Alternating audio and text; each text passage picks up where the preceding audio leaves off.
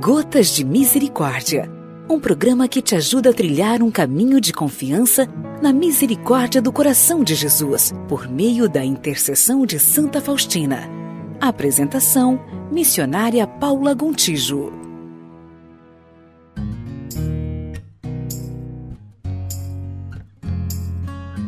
Deus abençoe você que acompanha o nosso programa Gotas de Misericórdia.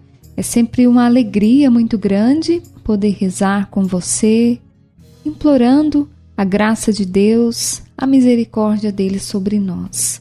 Hoje rezo com você o número 1687 do Diário de Santa Faustina, onde vamos ouvir o próprio Senhor quem nos diz: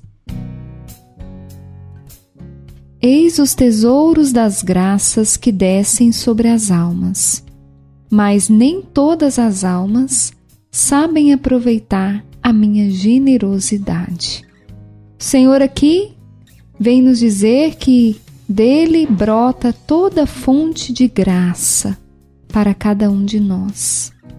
As graças que nós precisamos, as graças que nós necessitamos. Porém, ele mesmo nos diz que nem todas as pessoas sabem aproveitar tamanha generosidade, tamanha graça que brota do seu coração.